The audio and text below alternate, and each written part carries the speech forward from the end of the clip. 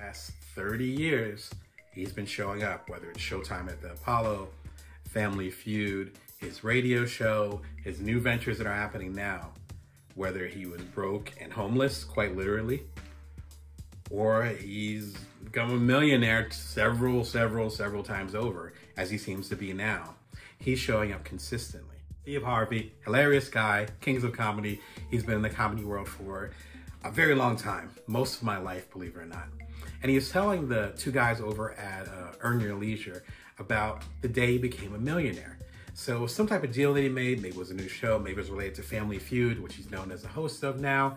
And he got the check and his partner, his friend, one of the people that he works with, said, Wow, you're a millionaire now. And he said, Great, let's take everybody out to dinner. Took everybody out to dinner. I guess it was a big group, or they drank a lot of champagne. And the check that they got was $3,000 for this receipt of the dinner. The check that he got that turned him into a millionaire was one million two thousand and some odd change. So they finished the dinner. The bill came. It's three thousand dollars for the bill. He pays the bill, of course, because nobody else in his crew is millionaires. And then he leaves, and his friend pats him on the back and says, "Steve, I have some bad news. You're no longer a millionaire because this three thousand dollar dinner knocked him down to under a million dollars in his bank account." It's hilarious. He says it way better than I do Of course, he's a comedian. I'll throw a link up in the uh, in the show notes uh, that you can click on. Watch the whole great interview. It's like two and a half hours long. It's definitely worth your time. But it reminds us that he was a millionaire at say noon that day, and then by 9, 10 p.m. that evening, as they were finishing dinner and he paid the check, he wasn't a millionaire anymore. Those things come and go. There's two really big lessons we can learn from this. The first lesson is that status roles such as being a millionaire or being a bestseller or being the number one person on the charts, those things come and go. Status roles come and go, but the key here is consistency. Consistency. Again, he was a millionaire at, say, lunchtime, and he wasn't a millionaire anymore by that evening. Does it make his worth less? Does this make his work less? Does that mean he shouldn't show up? Of course not at the end of the day, literally, he had $999,000 and some odd cents. He might as well be a millionaire. We get into trouble when we actually take the status rules and assume they are permanent as opposed to how we show up in the world. And that's something we can actually control. For instance, I've had three best selling books. There was a day when I woke up in the morning and I was number one or number two or in the top five or 10 of the bestsellers list. And then I woke up the next morning, the next week, the next month, and I wasn't on the list anymore. Does that make that book less worth something? Does that make my work less worth something? Of course not. Now, number one, it's the idea of reaching that mountaintop. And once you're a best-selling author, author, once you're a millionaire, you know, as, as Steve Harvey has proven, then that doesn't go away just because you happen to drop down that number. I've had years, I'm a freelance writer, so I do a lot of work. I've had years where I've hit new plateaus, all-time highs, as far as income that's come in, what I've gotten paid for a speaking engagement, what I get paid to be as a coach with my private coaching practice at damonbrown.net and then there are other years, other times when it's less. But if you're focused on the status role of it, then you always will be sad when it goes away. Build From Now, my last independently published book, which came out about a year ago, it was not a bestseller. It could be a bestseller in the future. I would love that, and I would love to get into all y'all's hands. But it wasn't a bestseller. Does it mean that it's worth less?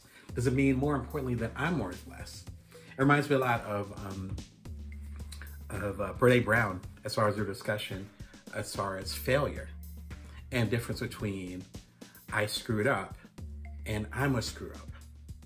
Huge difference. one is this didn't go that well. I own that.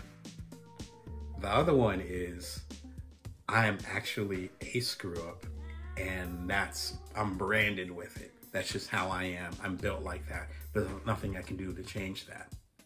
That's the difference between the activity and the labels that you have on the outside for this particular thing that you do, and the difference between that and you actually saying, I'm a millionaire, I'm a best selling author, what happens when that goes away? And it will. You will not always be a best-selling author. In some cases, if you end up investing in things like I do, or obviously like Steve Harvey does, or if you have certain bumps in your life or whatever, the amount of money that you have right now could go down because you invested in something, because you took a risk and it didn't pay off. Because there's life circumstances that are taking a lot of that stuff away from you. You need to go into that. Or maybe money's slow and work is slow. But you can't tie your worth to that. So number one, status roles. Um, and I love what Seth Godin talks about that over at the Akimbo workshop at akimbo.com. Specifically, actually, for the Akimbo podcast with Seth Godin. Worth listening to a podcast because he talks about status roles all the time. Those things come and go. Come and go, come and go. Nice Freudian slip there, but just tied to your goals. Number two, status roles should not affect how you show up. So if I'm a best selling author and I do a book signing and you paid good money you know, $30 for Build From Now or, you know, $15, $17 for Career Remix. And that week, I happen to be knocked off the bestseller list because some major, other major book. Does that mean that I don't give you as much of a keynote, right? Does that mean I don't show up for you? Does that mean I'm crabby or less available for my coaching clients? Of course not. You want to connect the same way, whether you're up or you're down whether you have this major status or proverbial low status. The key thing is to show up for people regularly. I found this where I've again had best-selling books. I've had books that have sold just above goose eggs, like single digits. Like it was me, my dad, and my mom, and maybe my wife that got a copy, and that's the only people that bought a copy of the book. But the main thing is showing up consistently. You're watching, I believe it's the 210th or so episode of the Bring Your Worth show, which has happened over the past year, year and a half. Me showing up for you every week, several times a week. That's important to me.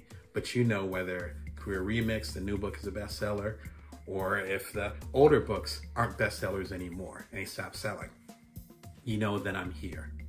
That's something that I love and respect about Steve Harvey's work is that over the past 30 years, he's been showing up, whether it's Showtime at the Apollo, Family Feud, his radio show, his new ventures that are happening now, whether he was broke and homeless, quite literally, or he's become a millionaire several, several, several times over, as he seems to be now. He's showing up consistently. If you're worried about the status roles, I have some really bad news for you. Those status roles are temporary even me being a dad and the so-called head of my household, there will be a period of time when my two sons will be taking care of me and I will not be the head of the household. Neither will my wife. because that's all part of time. It's everything is temporary. So if you realize and accept that everything is temporary, then you recognize what you can actually control. And what you can control is how consistently you show up and how you show up when you are consistent. It's as simple as that. If you want more insight, be sure to, to subscribe over at uh, youtube.com slash brown damon. Here every Monday, Wednesday, and Friday, 11.30 a.m. Pacific Standard Time, Vegas time. Again, we got like 200 something episodes, so feel free to have fun, binge as many as you like, talking about passive income, talking about emotional intelligence. Again, shout out to Brene Brown, talking about how you can show up better in the world consistently. I know it's not always easy, but if you let go of the status roles, then focus more on the consistency than those beautiful status roles as far as being a bestseller, as far as being the leader of uh, people that you serve, as far as being even a millionaire, billionaire, whatever your aspirations may be. They're a hell of a lot easier to achieve and a lot sweeter when you do. Until next time, remember you can bring your worth and you can always build from now. Take care.